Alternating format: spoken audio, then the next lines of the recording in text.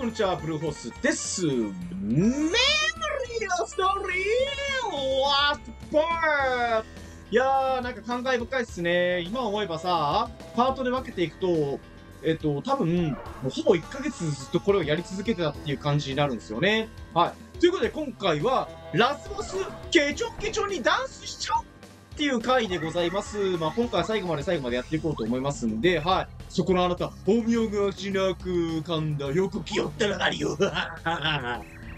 我が輩に感謝するのだ。だからライバル敵様のために、やー作るために、特別舞台を用意してやったぞ あ、これであれかな？ピーチ、ピーチ城開放かな？うん。これで貴様、袋のネズミだばシャッシャッシャッまんまと罠にはまりおったバカなやつじゃのああ。梅干し食べるなって。おろしが串の制度を助け出すのをしてぼーっと何もせずにいるはしないぞこの場所にはクッパしかるしか何回にもパワーアップすることができる仕掛けがしてあるのじゃ。この帽子の制度もの力など目がないのじゃ。このカ亀クババの知恵でクッパ様を敵にして差し上げるのじゃ。いきますぞ、クッパ様、スイッチオンですじゃ。まあでもどうでもいいけどさ、こっちにはパレッタがいるんだよ。うん。ふわふわふわふわ落ちていくし、それにもともとさ、空中にいたところからさ、落とされたとしてもさ、あの、地面に突き刺さってなんとか生きているって感じ。おー、なんだ。力がみなぎってくるぞ。マリオなぞ、人いねりでやる。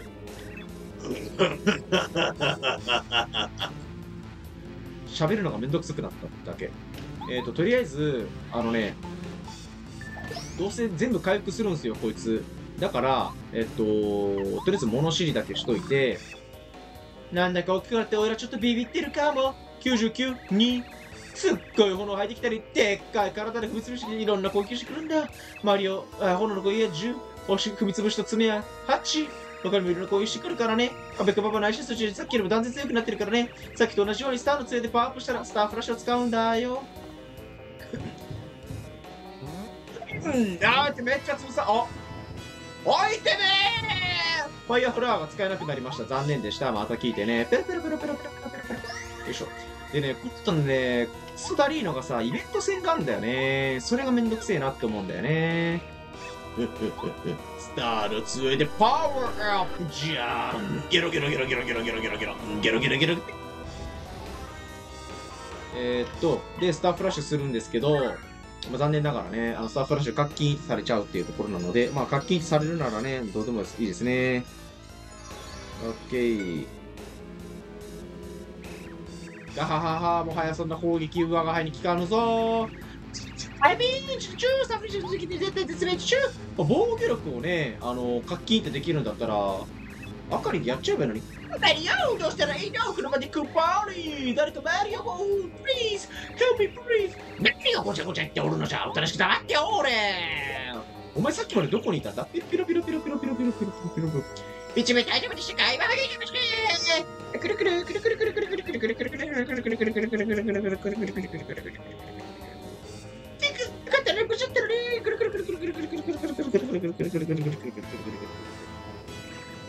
やれ星の壁よくもやりよったな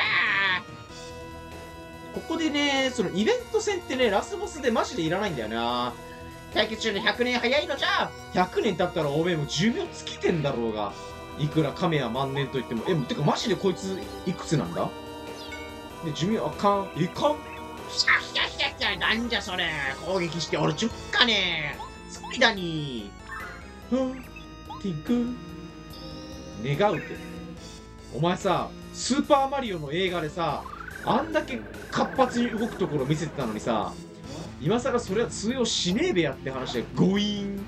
うげシャシャそんな攻撃じゃ効かないのじゃいてなんだ？って。うぬ？ちっとはやりようじゃのう。いや、多分ね、あの、同じところを何度も何度も、あの、せこくね、ゴスゴスゴスゴス攻撃しててね、あの、いつの間にかそこが青技になって、最終的にあの、内出血を起こして、ゲフッと死んでいくっていうね。いやー、残念でしたね。カメックババは100年早いようじゃって言ったけど、100年経つ前に寿命が尽きちゃうっていう話ですね。そろそろ頑張っていきましょうか。なんかどんどんどんどんきらめいてってるけど、なんかただのコンペイトーからあの、輝くコンペイトーになってってるよね。な、じゃだんだん星の力が増しておる気がするぞいすげえぼーっとしてんな、こいつ。大丈夫か？なティンク。なんか言えぜ。まあよくあの、あれだよね、アメリカ人なんかはさ、寝る前にあの星に願ったりとかするもんね、あのイエス様にさ。グイーン。まあ、彼らはね、あの、やっぱ経験な賢者だったりしますからね、本当にね。グイーン。わあもうただの本当のイベント戦になってきて、何も言わなくなってき始めちゃいましたね。それでいいのか、本当に。さあ、来い。ブイブイブイブイってか、おめえさんはあれなのか？それしかないのか？もっとさ、ウルトラブロックとかそっちの方を出した方がよよかったじゃないか。ガンなじゃな、わしの攻撃が来るとは。は知った。確か星の力の源は人々の願い。ピーチ姫の願いが星の子に力を与えておったのじゃん。じゃあ、ピーチ姫を攻撃しようよ。多分、王冠がめり込んで脳みそぐちゅぐちゅになるぜ。体力10ということですね。えー、1、2、3、4だからね。うん。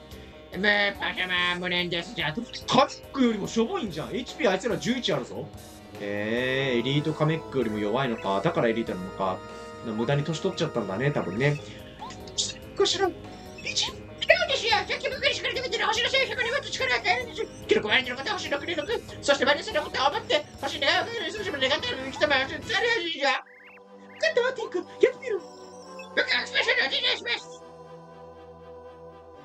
願え、目がチカチカしている、足元がプラプラの、雷ドッカン、紫の雷。どうしたマリオ？貴様がこんなに弱いと面白くないぞ、グゲスターフラッシュは効かないのに、これは効くんだね。なんだなんだ背中がかゆいのじゃおお、体に力がみなぎってくるぞ。おお、ティンクうん、ピーチ姫や大勢の者たちの願いの力、確かに感じるぞ。これならクッパの力にも対抗できそうじゃ。サンマリオ、もう一踏ん張り。みんながお主を応援しておる。力をもらって頑張るんだ。スターフラッシュに使うのだ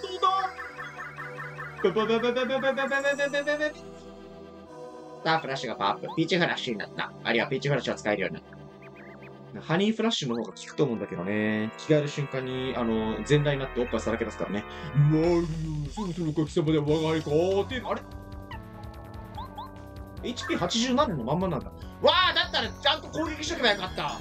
なんだ、なんか全部体力回復するのかと思ってた。違ったわ。それ、こっちの方が回復するのかなうわースターの杖の力が破れるとはもっと驚きおののけよ。で終わりか。ビーンピーよしうわー痛いつらいかゆい無彩ということで無サインボルトおうとうこいつって HP30 くらい回復してくるんだったっけ？えーと回復しましょうてててててあーくったうん甘いな本当に甘いな本当に。アメリカのチョコレートケーキみたいに甘いぜ。何言ってんの？ビービーボヨビョン。うん、あ、ちょっと、じゃあ、丈夫で、今、シンプルに A が押せなかった。下手くそだった。ごめんなさい。えーと、貫いちゃいます。貫きの、貫きの。え、本当にいいのか？この、このままで。本当にいいのか？このままで。おい、クッパ。そろそろ使うべきじゃないか。まだまだこれからなのだうん、あ、ちょっと待って、あ、これは、これは下手くそだったな。あれ？使わないの？いいのか？お前それで。まあ、それでいいのか？自分の体力見ろよ。99あったんだろ？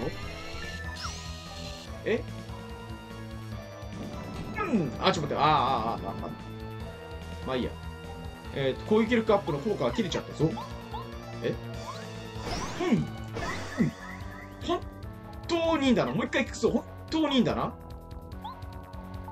て、て、て、て、あ、ちょ、なんか、な、な、なんでか。ちょっと早いのかなあ、やっとか。あ、違う、やらないんかい。え？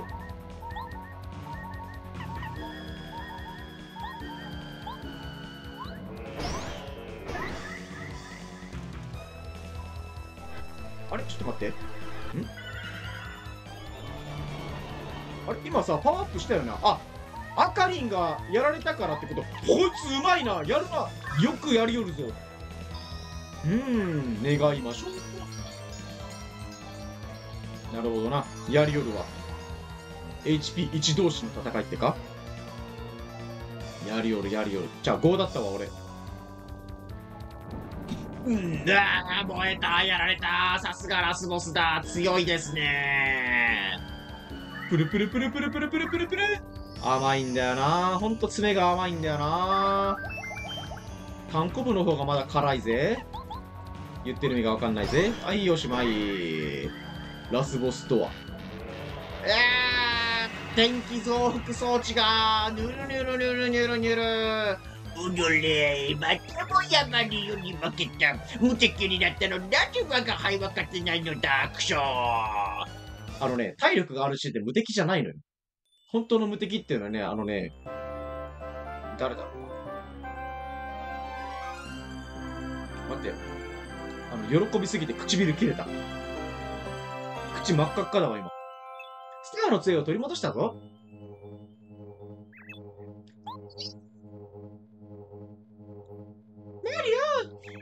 きっとあんたにできると信じてる。わありがとうマリオ。はい、チュー、ハーグ、やっちゃえ、やっちゃえ。ん？なんだなんだなんだ？わわわわわ。なんだびっくりしたのにある。まあ、あれとかいつの間にかカミックバブ復活してんだな。バカよ。これ一体何事なのだ？クッパ様とマリオの戦いがあまりにも激しかったので、クッパ様はマーブさんにたちがぶっ込んでしまったようでした。あちこちが爆射して、前エネルギーがクッパ師匠の範囲も逆にしております。まさかここもクッパ師匠も爆発しました。これってのも2つしかありませんですじゃ。なんだとそれはまずいさっさと逃げるだ。んわー、そうだよ。朝日が昇る。ちゃっちゃっちゃっちゃっちゃっちゃっちゃっちゃちゃちゃちゃちゃ。まあ大丈夫。あの、なんとか生きて帰れるから。うん。人間そう簡単にね、死なないんだよね。うん。簡単に死ぬけど簡単に死なないんだよ。生きてりゃなんとかいいことあっからよ。プラン、プラン、プラン、プラーン。てか、これあれだね、ピーチ、ピーチ城キノコ城ピーチ城キノコ城は無事なのにさ、まっさらに綺麗にクッパ城だけなかってるなんか下点滅ピロピロピロピロしてるけど、何？あれ緑緑信号、黄色信号みたいなのがこうペロペロペロペロしてるけど。いやー、でもよかったっすね。無事ね。はい。そのまま帰っていくのね。お帰りなさい。ああ、おおお終わった。ちょちょちょちょちょ、はい、どうぞ、お返ししまーす。マリオよ、ありがとう。スターの2を取り戻してくれて、心から礼を言うぞ。これで再び、世界に平和が戻るであろう。さあ、こいつでいっぱいやる。みんなの願い事を聞いてあげられるわそれもこれもみんなマリオちゃんたちのおっかけよ夜になれば星たちが君たちの勇気を称えて輝くのが見えるだろう。それこそが我々の感謝の印だ。それにしてもマリオくんたちの活躍素晴らしかったね。とてもかっこよかった。君たちならきっとやり遂げられると信じていたよ。マリオ本当に。ここまで。よく頑張ってくれたわな大変なこともあったでしょう。私に雪忘れないわよ。パパこれにこれておとなしくしてくれるといいんだけど、まあそんなことを言っても聞くようなやつじゃないよね。やれよね。君たちにこの感謝の気持ちを伝えきれないのが残念だ。星の国にそしてキノコワールドに希望を取り戻してくれて本当にありがとう。そしてティンク、そなたもよく頑張った。もう立派な一人前の星じゃな。さて、わしらはそろそろ星の国に戻らねばな。星の国の者たちがわしらを待っているでな。さらばだマリオ。お主たちに星の輝きがあらんことを。じゃああなたたちにはフォースと共にあらんことを。May the force be with you. 本当にあれだね、高い声拾わないんだね。あの、高い声で with you って言った瞬間にさ、全く音拾わなかったもんね。じゃあ行きましょう。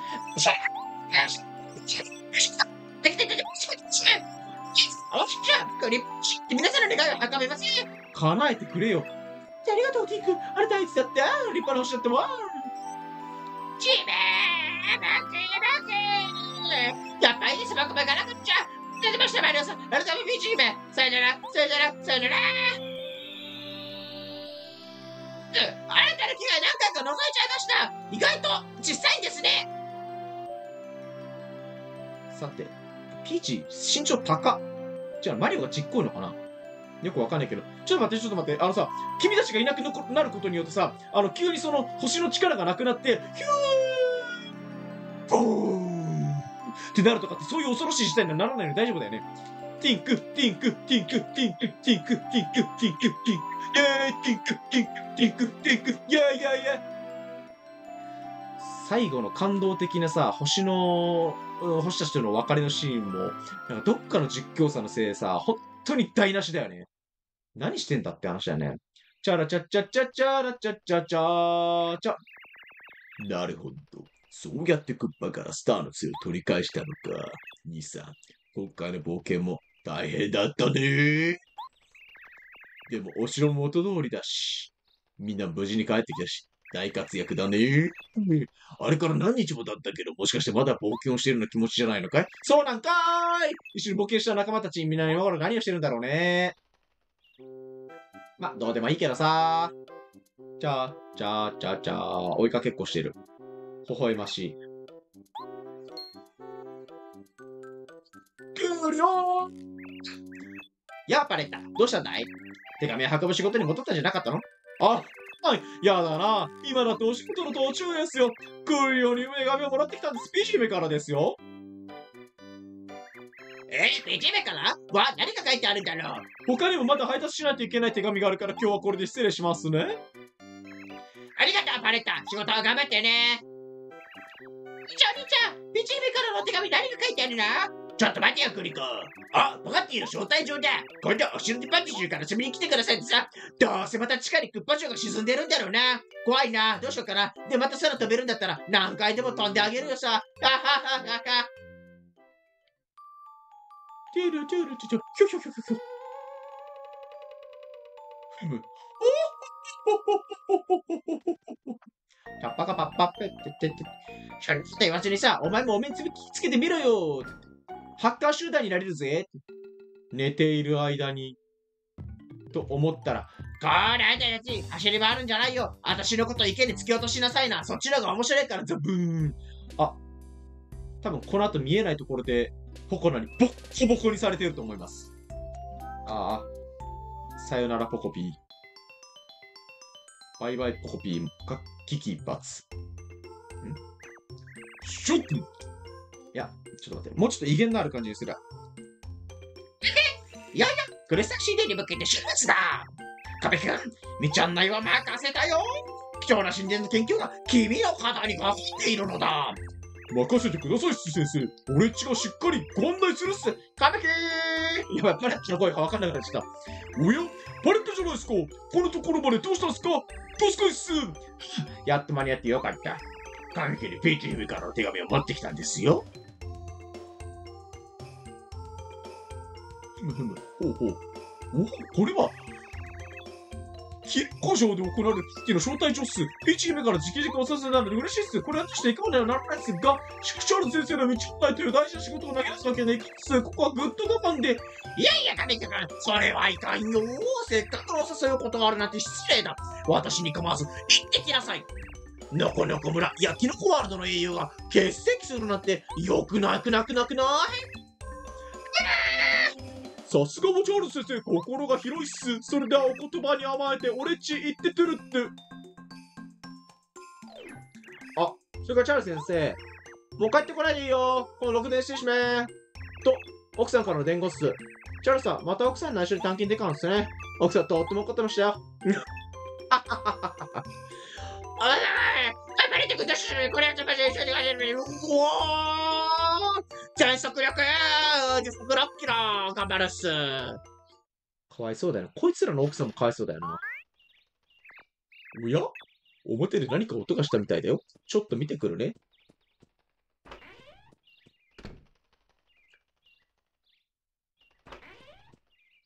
静かなひとときだ。バレッタがピーチ姫からの招待状届けてくれたよ。バレッタは招待されてるから大急ぎでお城に行くって言ってたよ。さあ僕らも行かなきゃ。てかこういう、ちょっと郵便局さんさ、こういう時くらいさ、パレット休ませてさ、あーでもそっか、手紙の内容わかんねえもんな、さすがにな。手紙の内容を郵便局側が見るわけにはいかないもんな。いや、見ていいんだったらさ、あの、いや、パレッタ、君にも仕事、あの、来てるから、その、なんだ？ね、あの、今日は休業して、あの、僕らが、あの、他のその職員が運ぶから、あの、えっと、ね、仕事休んでさっさと行ってきなさいみたいなね、うんできたのかなって思ったりもするんですけどね。かわいそうだよ、こんな暇で働かされるってよ。どんなブロック企業だよ。しっくりしょ、先生、聞いてみましょう。クリコは作りましたやっひゃひゃひゃひゃひゃ。ついてちょっと休んでるところでしゃ、しかしクリジーは元気じゃの？緊張しますわ、本当にもう待ってか。ははえ？クイズやろうぜ。じゃあじゃあじゃあ、クイズしますか？なんて今日、これは今日楽しみましょう。やだよ、クイズやろうぜ。磯のクイズやろうぜ。あ、なんか裏あるかな？裏。裏ニュースチーム万歳マリオさん万歳やっぱりマリオさんって強いんだ一緒に戦った仲間にはクリボーとかナボとかバタバタバタバタケセラン、ケセランパサランやジゲムやプクプクまでいたんだパーティーのみんなで行こう全然裏でもなんでもねえなっていう。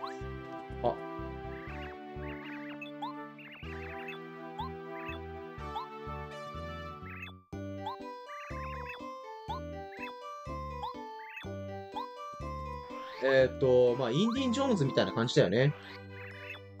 いいですか、ピーチ姫が、お待ってますよって。ストリップしてますよ。この日、あ、さすがにやってない。あ、なんだノコジロじゃあ、場所忘れてしまったぞい。まあ、どう見てもここは城じゃねえけど。よっランナー以上だ。さあ、行こうか。ラストパートだからね。あの、逆にでもさ、ラストパートだから、だらだらだらだら中身かせても仕方がない。いっぱいいるな。本当は一人一人に喋りかけてたら、多分面白いことがたくさんあるんだろうけど、あ死体だ。あいや、マリオさん。ご機嫌いかが？しばくぞ、こいつ。お、それさん、お世話になりました。ここどうやって来たかって仲良くなったクジラ。クジラ誰にでも仲良くするんだな。優しいやつだな。あ、槍持ってるやつあれじゃねえか？あの、なんだっけ、トゲ、え、トゲじゃなくて、えっと、お化けビビってやつじゃねえか？はい、ピーチ姫がおいでになられます。ピーチ姫の、おなぶされー、くったらねー。マジでくだらねえ。皆さん、今日はお集まりいただいてとても嬉しいです。突破に回れていたスターの杖は無事星の国に戻り、キノコワールドに再び平和が訪れました。空の星たちもそれを喜ぶかのようにより美しい、より力強く輝いていますわ。マリオ、どこに立っとんねんあいつ。クリオ、カメキ、ピンキ、ピャロレット、レザレサ、アカリン、オープク、ポコピー。そしてキノコワールドの皆さん、平和を取り戻すことができたのは、すべてあなた方のおかげです。本当にありがとう。心に感謝します。これからますます楽しく平和なキノコワールドでありますように。これが私の願いです。その願いを持ったまま、星の国たちはどこかへ逃亡いたします。本日は、What's every time? Ladies and gentlemen! っていう言い方今しないんだっけ ?Hello everyone! だっけ？ということで、えっ、と、エレクトリカルパレードが今から始まります。一番最後はあの NTT ドコモが走るからね。チャッチャチャー、チャッチャチャー、チャッチャチャチャチャチャ。ここで、このマリオ、あ、マリオじゃねえや。ルイージが持ってるのがさ、あの、杖だったら面白い、あ、じゃあスターの杖だったら面白いのになって。であの、自分がそのパレードの戦闘を率いるっていう願いを持って、スターの杖を持ってプラプラプラプラやってるってんだったらね、ちょっと面白かったのかなと思うけど、ここでさ、その、なんか主要キャラクターだけじゃなくて、こういうさ、モブたちをたくさん出してさ、本当にそれらしく見せるっていうのが、まあ、すごいこう、ちょっとマリオストーリーの粋なところだなって思ったりはするんですけど、皆さんいかがですかね？ということで、はい、マリオストーリー長期にわたってえー行ったんですけれども、えー楽しんでいただけたでしょうかありがとうございました、本当にね。いやー、本当にもう20年ぶりにこう、マリオストーリーというゲームをね、あの、遊んできてね、すっげー楽しかったですね。うん。でやっぱりこう、なんて言うんだろう、こう、初心者でも楽しめるというか、あのーまあ、もちろんその全部のね、あの、アイテムを獲得して、ね、バッジとか星のかけらとか、あの、そういうの全部倒していくって、あ、倒していく、倒しちゃダメ。あの捕まえていくっていう面で考えると、まあ、あのーちょっとそういう意味ではハードルが高いかもしれないけど、シンプルにそのメインストーリーをクリアしていくっていう観点で言ったら、そこまで難しくないというか、あのこの間リメイクされたばっかりのスーパーマリオ RPG とかに比べたら非常に優しい仕様なんじゃないかなっていうふうに思ったりもしますね。はい。だから、あのちょっとマリオのゲームを遊ばせたいけど、その、なんか普段あるようなマリオみたいな、その、えっ、と、スーパーマリオ RPG じゃなくてなんだっけ、うん、なんか 3D のマリオとか 2D のマリオとかっていうアクション系のやつの方がちょっと難しいなっていう場合は、あの、こっちのね、あの、RPG の方をぜひね、やっていただけたらな、あの、RPG っていうのはそのゲームシステムのことね、あの、マリオ RPG じゃなくて、マリオストーリー自体も、あの、ゲームシステムは RPG だから、うん。そんな言われても分かってるわっていうことだと思うんですけど、はい。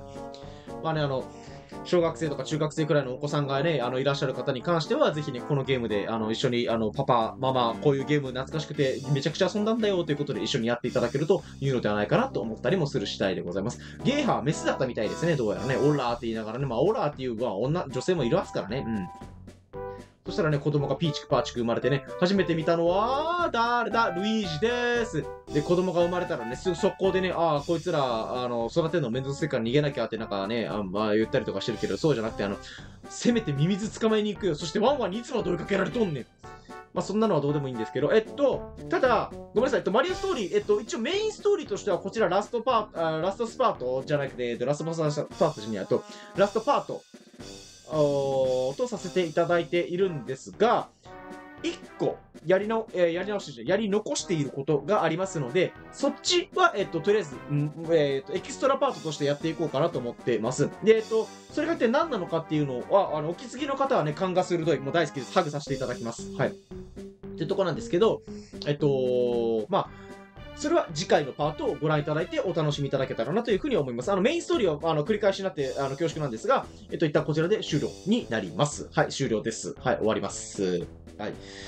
なので、えっ、と、まあ、今、えっ、と、ムジラの仮面とか、そのあたり、まあ、いろいろとゲーム実況をね、やったりとかしているんですけれども、まあ、一つ終わるから、また次ね、あの、64系のゲームで何かやろうかなと思ってるんだけど、あとね、もう一個な、なんとなくやりたいなと思ってるのは、あのえっと、3部作中2部作まで出た、えっと、ファイナルファンタジー7のリメイクですね。ただ、あれをやろうと思うと、またね、あの、パソコンの負荷がえぐいだろうなと思って、まあ、パソコン変えたばっかりで、まだ1年も経ってないから、まあ、余裕じゃないかなとは思うんだけど、うん。まあ、そっちもちょっと余裕があったらやってみようかなというふうには思います。まあ、えっと、これどうなのかな？みんなコメントをくれたらすっげえ嬉しいんだけど、あのー、なんだっけ？ほら、クライシスコアもやってるじゃないですか。クライシスコアをやって、で、FF7 のリメイクパート1やって、で、パート2やって、で、えーパート3は、えっ、と、いつやるかわかんないけど、まあ、待ってたらいいみたいな、そんな話になってくるのかな？どうなんだろう？うん。そうそうそう。まあ、なんか一応3部作に分かれるみたいなね、話とかっていうのをやってたから、はい。ということですんで、まあまあまあまあ、そこら辺をね、あの、楽しみにちょっと待ってようかなと思ったりもするんですけど、うん。まあ、そんなところですね。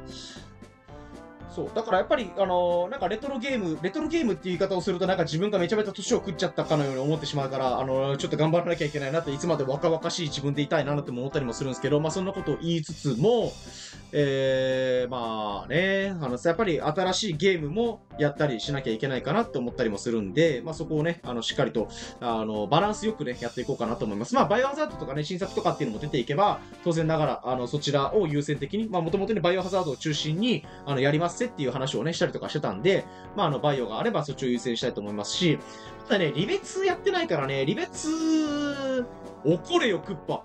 こういうとこ寛大だよな。あー、全然寛大じゃなかったわ。うん。実はコアッパってクッパの子供なんじゃねえか説ある？うん。ということなので、はい、夜になりましたね。いよいよ本当のエレクトリパエレクトリカルパレードですね。うん。いや、今年の頭に行った娘の誕生日の、あれだね、あの、本当にディズニーは楽しかったですね。まあ、他にもいろいろとね、あの旅行にたくさん出かけていってね、やっぱり子供と、子供というか、まあ、家族との思い出をね、たくさん作っていきたいっていうのが、まあ、僕の願いでもあるんでね。うん。まあ、そういうのを、あの、しっかりと、あのーなんだろう、時間を作るっていうのは、どうしてもやっぱり嫁さんもね、あの、僕の場合は働いてくれてるので、あの、我が家はすごい感謝なんですけれども、まあ、その一方で、やっぱり、あのー何かじゃあ遊びに行こうかとかっていう時に、お金の制限っていうのが出てきた時に、それがネックになるっていうのは良くないからね、こういうこともしながら、ちょっとずつ、ちょっとずつ小銭を稼いでね、しっかりとそっちにこう、こんえー貢献していきたいなというふうに思いますね。はい。OK です。ということで、あれ、こんなにいたっけ、こいつら。すごいな。太陽を生み出したぞ、こいつら。ってことは、実は、あの、150億年前から存在する存在なのかもしれないね。うん。ということですね。で、えっと、ちょっと待って、最後の NTT ドコモはいつ出てくるんだ？あ、まだ、まだこいつらがいたのか。ド派手な。まあ、とりあえず、あの、ただただ、あの、テカテカになってるだけのね、どうでもいいんだけどさ。ってことは、あの、どんどん、あの、喋ることがなくなってきてしまったんだけど、これって飛ばすことできるのか？でも、これあれだよね、確かセーブ、セーブポイントから戻るんだよね、確かね。うん。セーブポイントまで戻ってくるから、そっから、あれだもんね、また降りていかなきゃいけないもんね。うわ、なんか一気に戻るとかできたらめんいいのにね。とかさ、あの、土管でさ、あの地下からさ、土管を入ってなんかいろんなところに行くみたいなことはできるけどさ、あのーそうじゃないやん。あのじゃなくて、なんか、例えばだけど、ゼルダの伝説みたいに、あの、オカリナ吹いたらどっか飛んでいくみたいなとか、そういう仕組みがあったらすごい楽なんだけどね。あ宮本茂さんもうあなたがいなかったらもう本当にっていうくらいの感じですね。あれ？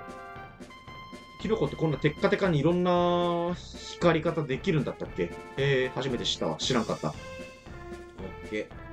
最後来たね。誰に向かって手振ってたら。てか、そもそもここ観客いるのかな向こう側にゼロだからさ、こっち側にすっごいたくさん人がいるんだろうね。うん。オッケー。2000年、ニンテンドーありがとうございました。本当に楽しかったです。もうね、いつもコアなゲーム視聴者の皆さん、本当にありがとうございます。もう皆さんがいるから、私は頑張れるということでですね、あぜひね、あの、いつも応援してくださっている方々にですね、何かこういう、まあ、あの、くだらないトークって言いながらも、まあ、それで笑っていただける方がたくさんいらっしゃるのであれば、僕はそれで嬉しい限りです。あー、びっくりした。いや、てっきり、あの、ちょっとルイージはどっかやって、あの、やることすんのかなって思ったら、だってベッドあるじゃん、ちゃんと、マリオの家って。あ。これちなみにこのまま花火がずっと打ち上がっている状態で終わるんだったっけ？ぽいね。はい。よし、じゃあ、えーマリオストーリーですね。えー長編のゲームになりましたが、以上とさせていただきます。で、エクストラパート、えーまた上げていこうと思いますので、ぜひそちらもご覧いただけたら幸いです。また次回パートでお会いいたしましょう。お疲れ様でした。さよなら。バイバイ。